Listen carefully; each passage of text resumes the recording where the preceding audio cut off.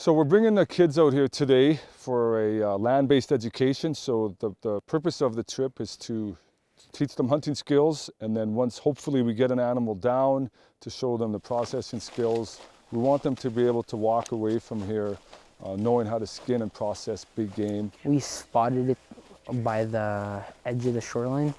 We started kind of stalking up with the truck to get a little bit more closer, but lucky for us, it was kind of coming more towards us. We're gonna have to go, go around there. We got out and walked, but then as we approached like the edge of the shoreline from the south, uh, the moose was gone. I think he might be there. Let's come on. Lean against this tree right here. Take him now.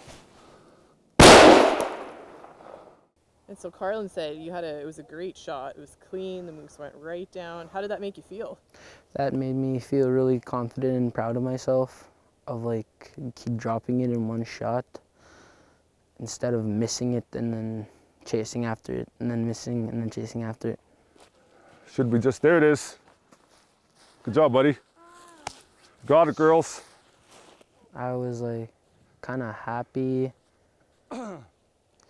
Nice. kind of sad a little, just a little bit, just for taking a, out a Right life on.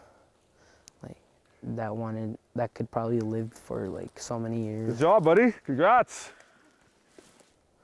and you had to take it, but it's, Good it's job. meat though.